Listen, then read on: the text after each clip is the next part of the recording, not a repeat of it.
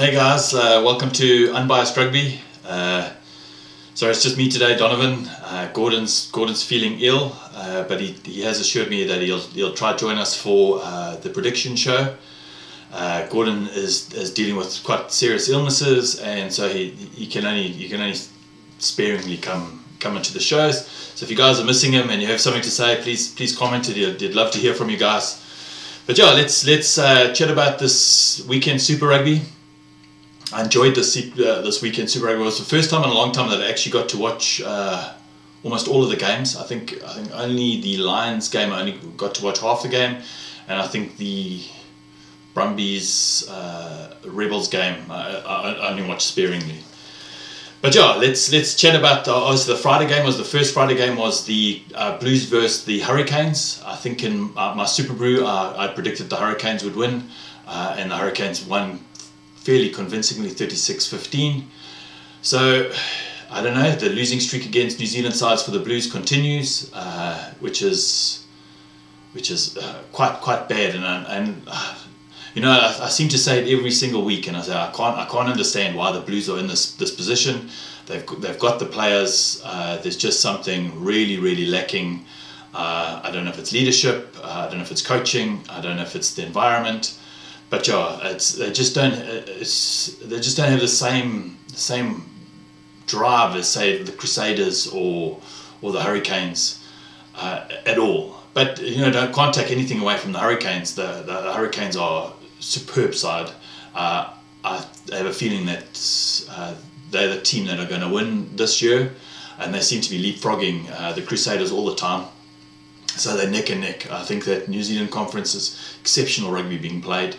Uh, unlike last year or the year before, I don't think the New Zealand conference is the only conference that's that's doing well. I think uh, the African conference is is starting to be quite competitive. Know, and I was watching another show, and there's only eight points between the top and the bottom position in in the Africa conference. So everything's still up for grabs there. You know, anyone can take it. Uh, I think uh, the New Zealand conference. I have a feeling it's the it's the Hurricanes or the Crusaders are going to are, are, are going to top that log. But yeah, take nothing away from the Hurricanes. Exceptional side. They played really well. The Blues continue their losing streak, and it's the same with the Blues that I, when I look at the Sharks and I look at uh, the, the Stormers. It's just it's up and down. They lose this week, they win this week. They just can't seem to string two wins together. And yeah, something something's wrong. But look, uh, they, they've put their support behind uh, the coach, and let's see, let's see what they do. Uh, maybe maybe they can pull it around, but uh, you know, I was reading somebody else's comment, you know, and they were going, you know, in a galaxy far, far away, the Blues win, you know, and, and as a, as a bull supporter, I seem to I seem to know exactly what he's talking about, you know, because. Uh, I always thought they'd win, and they, they just never seem to get it right. But uh, they will come back to that one.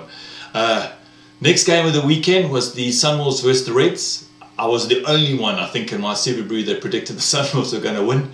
Uh, so, so I, I, thought it would be a lot closer than what it was, but uh, 63-28 is a that's that's a hiding. Uh, that's a real, real big score. It's almost like a T20 score.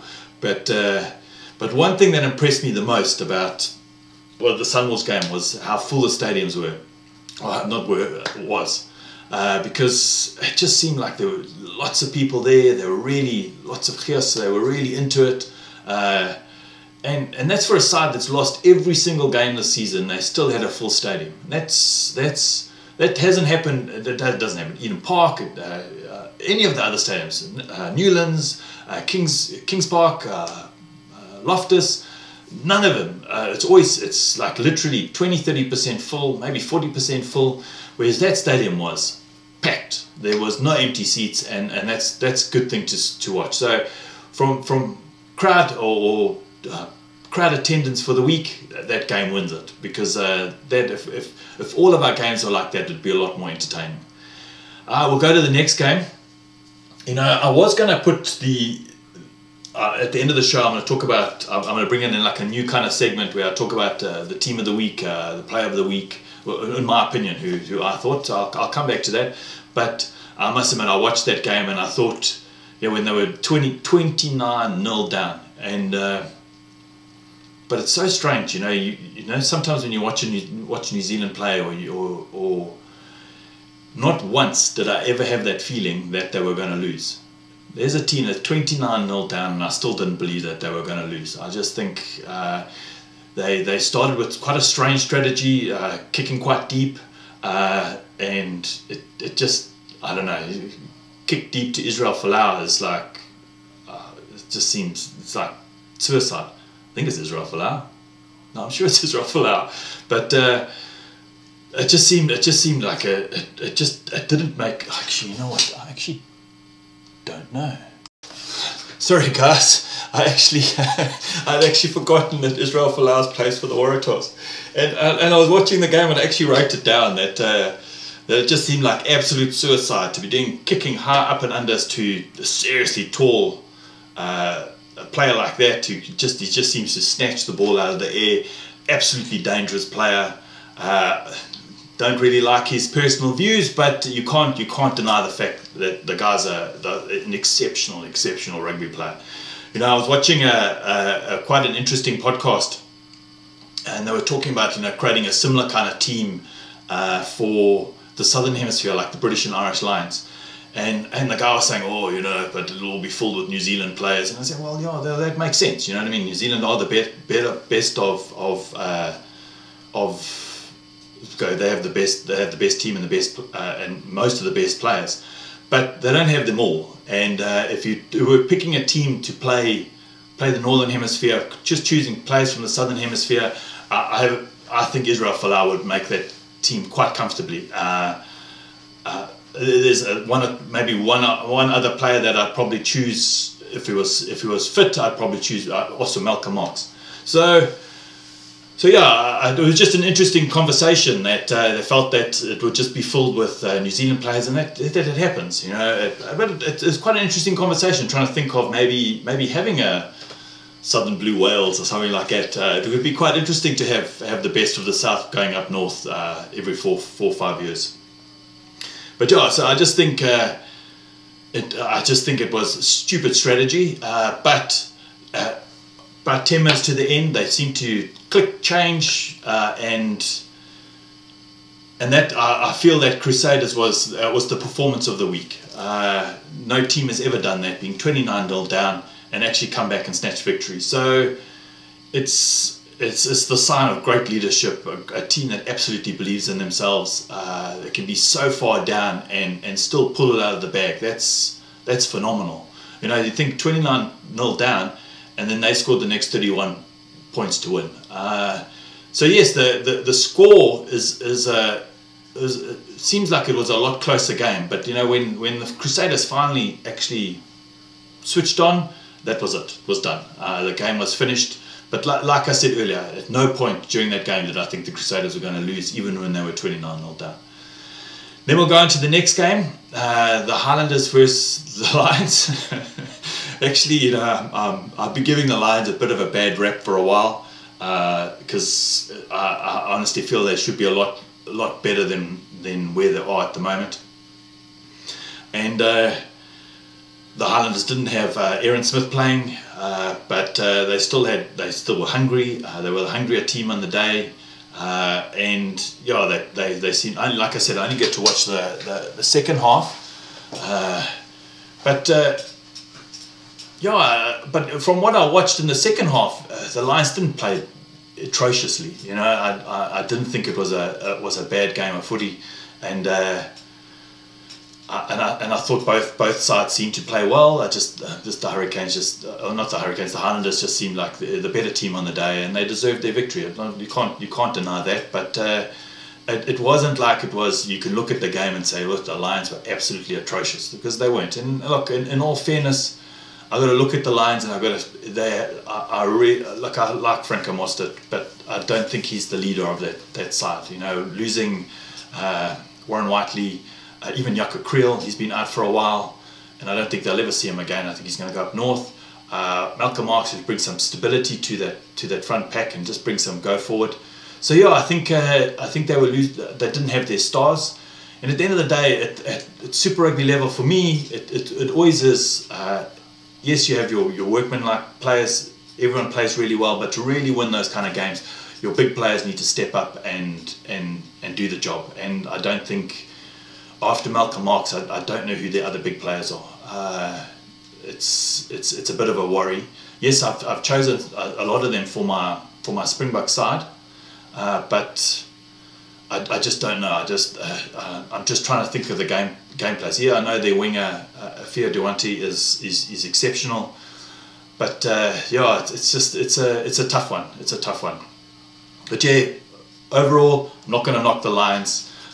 The Highlanders deserve to win. The Lions didn't play that badly, so yeah, let's move on. Uh, the next one was the Brumbies versus the Rebels. Uh, I actually, uh, looking at my Superbru over here, I think uh, I think I chose the Brumbies to win. yeah, I think I, I, got my first three games right, and the next next uh, three games wrong, and then the last game completely right. But yeah, so uh, the Brumbies versus the Rebels. I did watch this game in in the background. I, I, in all honesty, I don't I don't watch a lot of of Australian games. Not not because it's just I can't watch all the games and and and it's not that it's unentertaining or anything like that. It's just I, I can't I can't watch all the games, and so I, I, very seldom watch the Australian games. But I did watch this one in the background. Didn't seem like a bad game. Uh, it didn't seem like there were like super bad teams on the field. Uh, I just think it was two teams that were hungry for a, for a win, and and the, the the Rebels just seemed like the team that, that wanted it that day. But let's move on to probably the worst game of the weekend. Uh, not because the South African team lost. It's just I just thought it was uh, both sides. It was an atrocious lack of skills, lots of knock-ons, lots of mistakes, uh, lots of ball handling errors. It just seemed two teams that were out of sorts. Uh, just uh, it's almost like neither one of them wanted to win. Uh, the only person that the, the shining light for that day was Brodie Retallick, and uh, uh, sorry, that, that guy's that guy's it brings a massive impact to, to any side. Just just I don't know. Uh, uh, it was it was so strange, and I was watching the game, and how dominant the scrum was. It just goes to show that uh, you you have to have uh, you have to have a go forward ball, because I, I looked at how looking at paper that Stormers pack should have wiped the Chiefs uh, to the side, but the, but they just didn't get it right. And I was looking at it and I thought, you know, I found it quite strange. You know, if you look at how they positioned everything, you know, Brodie Retallick's normally four, and what they'd done is when they saw they had a bit of ascendancy on, on or their tight head, the, the opposition's loose head side, Brodie Retallick swapped places to be behind the tight head, and that's where they were getting a lot of uh, uh, a, a, lot of uh, a lot, a lot of their ascendancy. And I'm not saying, look, Kitshoff had one or two bad scrums. I think he had some very bad calls against him. But let's be honest, you know, once the ref's not on your side when it comes to scrummaging, he's not going to be on your side for the rest of the game. Uh, I think they brought on their replacements at the completely wrong time. You know, how can you bring in your replacements that close to your own try line? It's just, it's just absolute suicide. Uh, I just think the Chiefs used their bench a hell of a lot better than than than the Stormers. But yeah, I just because uh, Kitshoff is a, an exceptional scrummager, so I just couldn't understand why that was happening. And then I saw it. I saw Brodie Retallick move across, and I went, "Wow, okay, I can see what they're trying now. They, they want to bring in their. That's where they want to bring in their power." And uh, it just seemed to it just seemed to negate what all Kitshoff's skills. It just goes to show how much the Storm was a missing Eben. Uh, you know that that enforcer because there was no one on the field. Look, I love Pieter-Steph du Toit. I'm not love, but I think he's a, he's an exceptional player. But uh, he ain't no Brodie Retallick, and uh, the only lock that we have in our country that's even comparable to Brodie Retallick is Eben Etzebeth. Uh, not taking anything away from the locks from the Bulls, but uh, the, Eben Etzebeth is just is on another level, and uh, I think it would have been a little bit different if they had if we had him on the field behind uh, Kitshoff, I think that, that the scrummaging would have been a lot different. But I think the game was one up front. The Chiefs it up front against a pack that uh, are, are rate in, in, in Super Rugby, and so yeah, uh, the, the, the Chiefs deserved that win. Uh, but yeah, both teams, it just it just wasn't it just wasn't attractive rugby. You know, it really wasn't. Uh, it it was slow and uh, I don't know. It was just it was just it wasn't a super rugby game. It was I don't know. I, I don't want to compare it to an, uh, other competitions, but it just seemed kind of kind of static and flat, and it just wasn't a great game.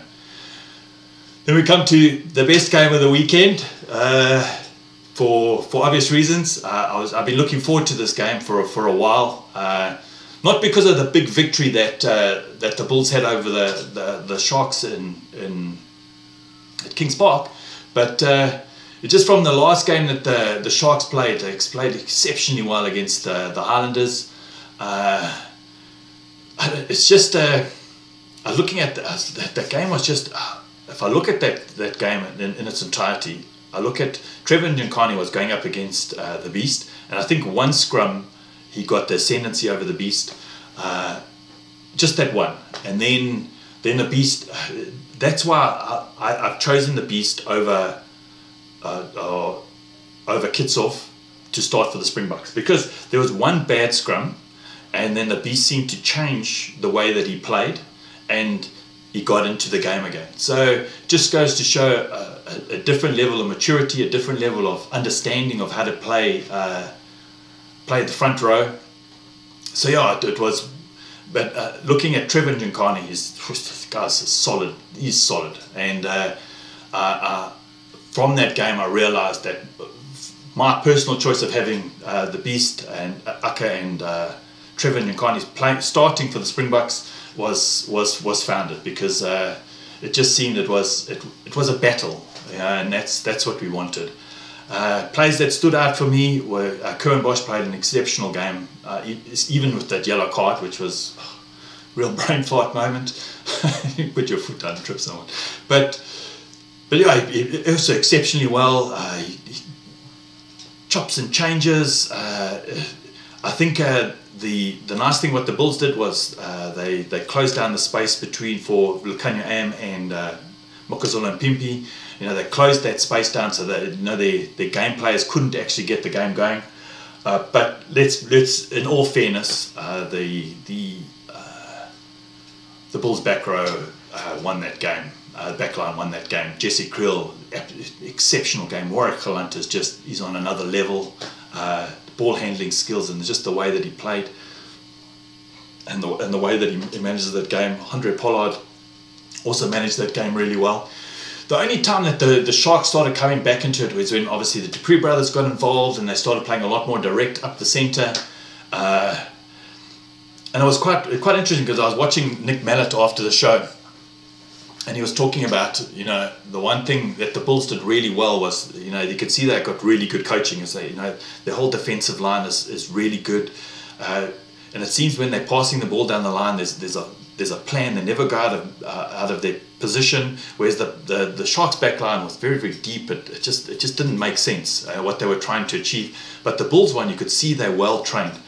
And uh, and I think that was the, the major difference. But when the Sharks started playing a lot more direct, coming straight up the centre, it started showing the, the, the cracks in the, the, the Bulls' defence. And I think uh, when we can get that right, when we can play that expansive game you know, uh, from left to right, where we can make our opportunities and we can start varying it with uh, coming up the, the centre, I think uh, we've, we've, we've hit our stride. But if I look at where the Bulls were last year, and I even look at where the Sharks were last year, uh, the the skills of the forwards have just improved astronomically. I look at the one try was a direct result of the beast offloading off the floor and uh, popping the ball up straight into a try. I look at Lewis. Did he score a try? It seems like pretty common now that Lewis scores tries. So it just it just shows how the, the, the big guys are starting to get those uh, you know that offloading skill. They're keeping the ball alive. Uh, Jean-Luc and they they got that chicken wing you know where they can pass it out. It just seems like the forwards are stepping up with those with the, the same kind of offloading skills, that ball handling skills that uh, the New Zealanders have been doing for years. And I, I look at the I look at the Bulls. One year, like think think about where they were last year. They were dismal absolutely dismal. We didn't know what they were trying to achieve. Their scrums were rubbish. And we just had one coach. We've had a coach there for literally six, six to eight months. And look how he's turned that whole team around. The skill level is just is, is improved so much. So it just goes to show that for me, we have the talent in South Africa. I, I, I cannot deny that the talent is there. It's just we just have never had the, the, kind of coaches that could obviously impart skills, you know, skills to these the, uh, to these players. I was watching a, uh, that show with uh, Sir Kirwan, Sir John Kirwan, and he was saying that uh, it takes about 65 times to, to learn a new skill. So when you learn an offload or a chicken wing or whatever kind of move, it takes 65 times to, to practice that, get it right, uh, and, and, then it just becomes part of part of your thing. So I, I'd, say, I'd say watch out, guys. I think uh, we're nowhere near the, New Zealanders just yet. But give us a couple more years, and I think uh, I think the, the conferences are going to be a lot closer. I think uh, South African rugby's on the rise. And uh, but yeah, all in all, it was a great weekend of rugby. Uh, uh, New Zealand side still proved who that they're the best. The South Africans are catching up. But yeah, I was actually going to bring in this new segment. Uh, I was going to talk about it. and I was going to say, I was going to talk about team of the week and player of the week, and then uh, then the least, uh, the, probably the worst performance of the week. So when I was watching, I was going to choose the Sunwolves as team of the week. Uh, I, I, was going to. Uh, and then I watched the Crusaders game. And team of the week is still for me the Crusaders. Uh, 29 0 down. There is no team. I, I, I say bar none. There are no teams. I can't see Saracens doing it. I can't see uh, Wasps doing it. I can't see Exeter doing being 29 pulls, uh, uh, points down and still turning around and, and snatching victory. Uh, I just I, I, don't see any other team doing it. So team of the week for me is the Crusaders. Uh, player of the week, Brodie Retallick. Uh, I just think phenomenal, phenomenal, phenomenal player. There were a few players that stood out for me. Uh, Neo Miloskada, uh, ex- exceptional game. Jean-Luc had an exceptional game. Warwick Gelant, just exceptional uh, ball skills. But for me, I think the all-round rugby player of the week, Brodie Retallick. Uh, worst performance of the week. Hmm ish. I don't really want to say this, but uh, I, would probably say the Stormers. Uh, yeah, yeah, you'd think I'd say the Reds, but uh, I just think not because I just think they're a better team than, than that scoreline, and and I don't I don't know what happened, but uh, I, I think. Geez, I, I, hope I don't get a huge big backlash, but uh, yeah, I'd say yeah, worst performance of the week for me was the Stormers. Uh, best performance of the week was uh, was the Crusaders, and my play of the week is Brodie Retallick. But listen, guys, that's my show for the week. I just want to say thank you very much to to everyone that's been uh, following my channel. Uh, I really, really have enjoyed uh, the the Springbok series that I've done. I've had 30, 40 comments, maybe even more, more comments of people that are just as passionate about Springbok rugby as I am and I, I, really appreciate it. And uh, listen, guys, if you could share my video, I'd appreciate it. If you could give it a thumbs up, if you could like it, it would be great. Yes, I, I had a bit of a, a bit of a, uh, uh, what is it, uh, a moment when I saw I had two thumbs downs, but you know, these things happen. But listen, guys, thanks a lot. See you next week. Cheers. Bye.